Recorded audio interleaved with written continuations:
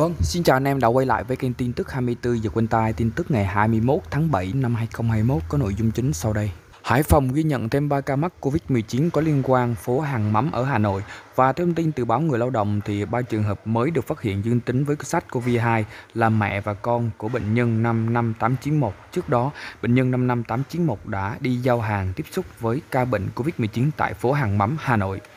Trao đổi với báo Người Lao động thì ông Trần Anh Cường, giám đốc Sở Y tế thành phố Hải Phòng cho hay, vào trưa ngày 21 tháng 7, lực lượng chức năng thành phố Hải Phòng đã phát hiện thêm 3 trường hợp mắc Covid-19. Đây là các F1 của chị DTH sinh năm 1981, trú phường Vĩnh Niệm, quận Lê Trân, bệnh nhân 55891.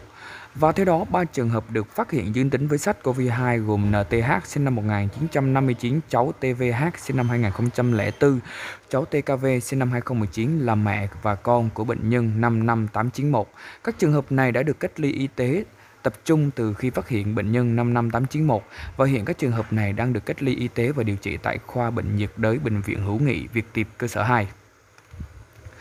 Trước đó, như báo Người Lao động đã đưa tin, đêm ngày 18 tháng 7, Hải Phòng đã ghi nhận chị DTH sinh năm 1981, trú tại phường Vĩnh Niệm, quận Lê Trân, dương tính với SARS-CoV-2 ngoài cộng đồng. Và theo dịch tễ thì chị DTH có lịch sử di chuyển đi giao hàng tiếp xúc với các ca bệnh COVID-19 tại phố Hàng Mắm, Hà Nội. Ngày 16 tháng 7, ngay sau đó về Hải Phòng, chị này đến Bệnh viện Đa khoa Quốc tế Hải Phòng làm xét nghiệm và kết quả dương tính với SARS-CoV-2.